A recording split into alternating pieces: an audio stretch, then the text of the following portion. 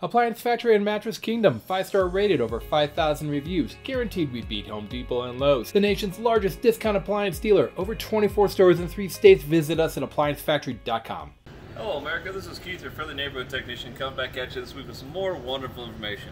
Well, today we're talking about my dish, my my washer won't drain, of what I can do to possibly take a look at it. Well, on your LGs, your Samsungs, your um, uh, uh, LG, Samsung, and GEs, they all have a built-in trap, okay?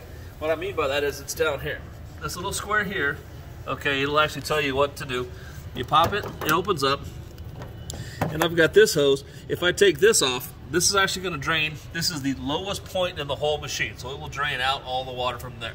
And then what I do is I'll unscrew this and pull it out. This is a coin trap.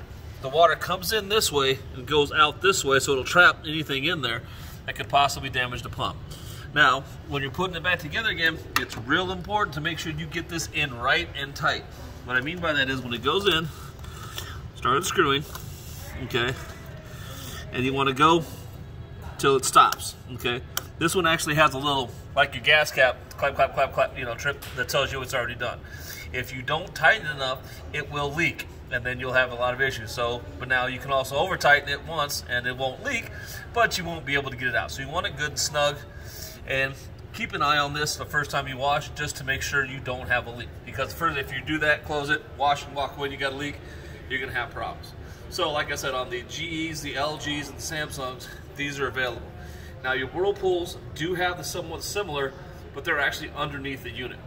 That's a lot more difficult. You probably want to get someone out, a technician, out to come look at that one because there's a bunch of taking stuff off involved in that one. So, like I said, if you're dra not draining, if it's draining slowly, not draining at all, it's something to look at that you can possibly do yourself to save yourself a trip of someone coming out. So don't forget to subscribe to this YouTube channel and come back next week for some more wonderful information. Bye.